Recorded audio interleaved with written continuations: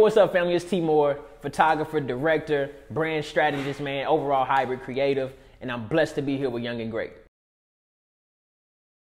I used to ask my brother all the time, like, bro, what do you think I do? What do you, well, how should I kind of come up with this title? Because social media is full of like influencers and full of like everybody's a photographer, everybody's a director, and like there are so many cultural titles that just kind of stream across social media that I was like, yo, I want to do something and figure out what my title is based on what I love to do.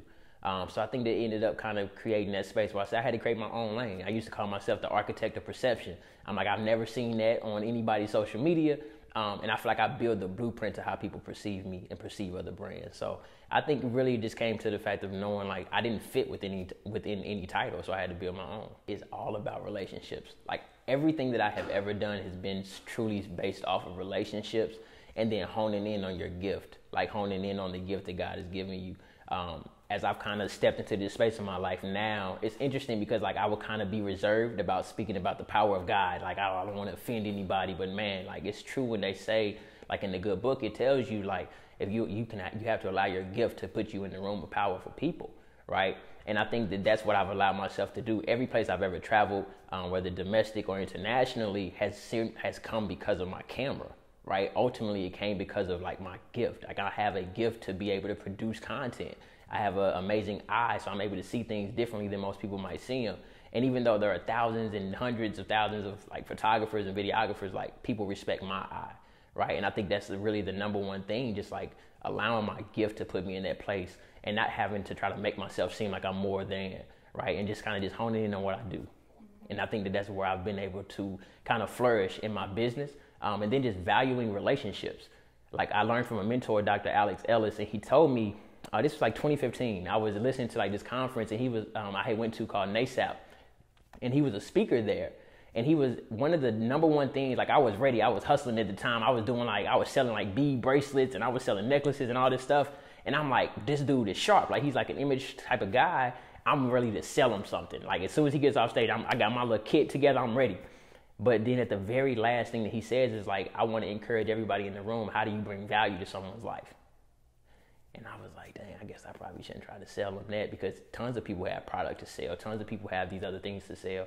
And that's like I was deviating from my gift, right? I'm thinking I'm trying to make jewelry, but I'm like, I'm a camera dude. Like that's what I am. Like I love being behind the camera. I love producing stuff for people. Um, so I had checked out his social media real quick and went to his website. And immediately when he got off the stage, I was like, look, I'm gonna be honest with you. I wanted to sell you some of this jewelry that I had, but I realized I can be of service to you, man, because I took a look at your Instagram and your website, and I think that you could, you know, you could you could do for an upgrade on some stuff, and I just want to give my services to you and just see where the relationship goes. And now, three years later, I've traveled with him across the country. Um, I've went to Disney three years, you know, based on the relationship from him. And it all simply started from me trying to figure out what a value I could give and how I could be of service to people. You know, the Bible says the greatest among you will serve and I'm learning like that's that's the key to really getting to where you want to go. Um, so a lot of times, like you get like starstruck, right? If you meet somebody, that person you've been like lingering and like longing to meet for so long. Um, so asking intentional questions are step by step style questions, right? So um, in my specific career field, I'm always meeting tons of different celebrities, and but then again, I meet people who might not be celebrities but have more of an impact, right? Than some of these celebrities might have. Like they, they have a little bit of depth involved in the conversation. So when it comes to asking intentional questions, it's about saying like, look, man, I'm trying to learn things that are actually going to elevate me as a as a brand and as a person, right? Because I think that it gets to a point where sometimes we just want to know like, well, what did you do to get there? But sometimes like you got to understand like everybody's journey is extremely different. So when I say asking intentional questions, it's about saying like, hey, what are some key things that I can do um, that are mandatory for this career field or that are can really help me elevate, you know, who I am and how I address certain situations or opportunities. What advice I can give to other entrepreneurs? The advice I can give to other entrepreneurs is just to be patient, to truly be patient and to always practice your craft.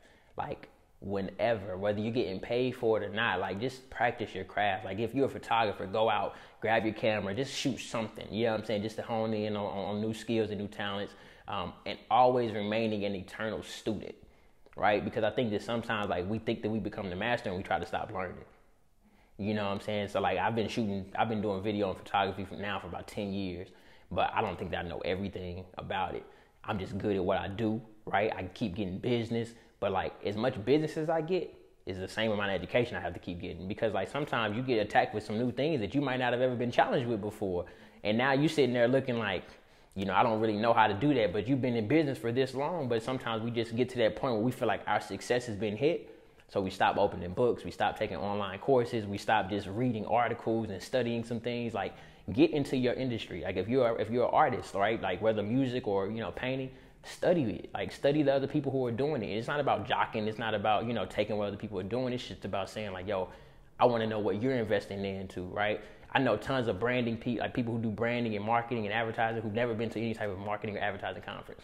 You know what I'm saying? They, have never networked with other people who do the same thing as them, so they can learn new new habits or new new ways of doing things. So I think it would just really just be like kind of keep a good village around you right? Striving for perfection, like always push the envelope on whatever it is that you do in order to be better. Um, and then just again, just remaining humble at all times because when you're not humble, man, it's like a dark cloud over your process. And it's like that moment where you feel like you're better than is the moment that you start losing relationships and start losing opportunities.